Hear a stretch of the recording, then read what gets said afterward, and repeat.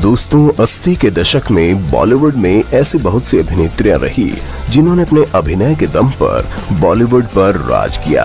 ऐसी ही एक अभिनेत्री हैं जया प्रदा जया प्रदा एक भारतीय फ़िल्म अभिनेत्री और राजनीतिज्ञ हैं। वो 80 के दशक की सबसे सफल अभिनेत्रियों में से एक है। उन्होंने तेलुगु, हिंदी, कन्नड़, मलयालम, बंगाली और मराठी फ़िल्मों में अभिनय किया है। लेकिन बहुत सी अभिनेत्रियों की तरह ही जयप्रदा ने भी अपना करियर बीच में ही छोड़ दिया।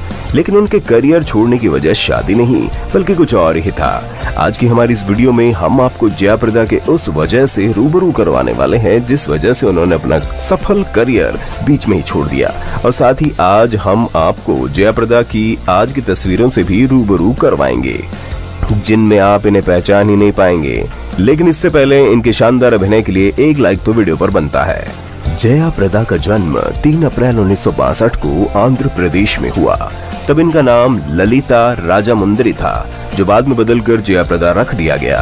उनके पिता कृष्ण राव तेलुगु फ़िल्म वितय दाता थे और जयप्रदा ने अपनी पढ़ाई तेलुगु माध्यमिक स्कूल से पूरी की और साथ ही कम उम्र में नृत्य और संगीत की शिक्षा भी हासिल कर ली। जब जया 14 साल की थी, तब उन्होंने अपने स्कूल में नृत्य प्रदर्शन किया।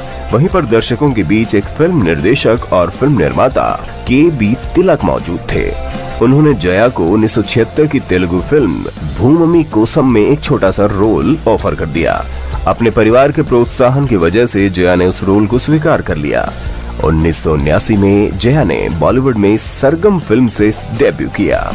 ये फ़िल्म बहुत बड़ी हिट साबित हुई, लेकिन उस वक्त उन्हें हिंदी नहीं आती थी। इसके बाद उन्होंने हिंदी सीखी और सन उन्नीस में रिलीज़ हुई फ़िल्म कामचोर में उन्होंने पहली बार हिंदी पूरी तरह से बोली।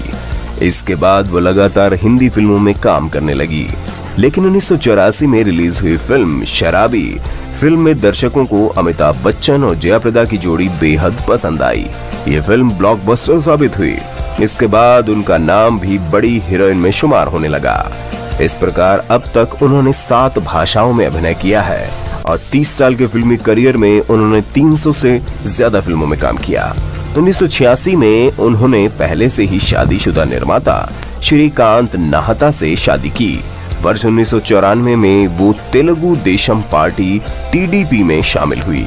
राजनीति में प्रवेश करने के बाद उन्होंने अपने करियर के शीर्ष पर फ़िल्म उद्योग को बीच में ही छोड़ दिया। एक जमाने में खूबसूरत दिखने वाली जया आज वक्त के साथ बहुत बदल चुकी है। आज उनकी उम्र का असर उनके चेहरे पर साफ़ देखा जा सकता है। इनके फैंस तो आज की इनकी तस्वीरें देखकर पहली नज़र में ही पहचान नहीं पाए होंगे। दोस्तों, आपको जयाप्रदा की कौन सी फ़िल्म सबसे बेहतरीन लगती है? उस फ़िल्म का नाम हमें कमेंट सेक्शन में कमेंट करके ज़रूर बताएँ। और साथ ही बॉलीवुड के गुमनामी चेहरों की खबर सबसे पहले पाने के लिए आप हमारे चैनल को सब्सक्राइब ज़रूर कर दें।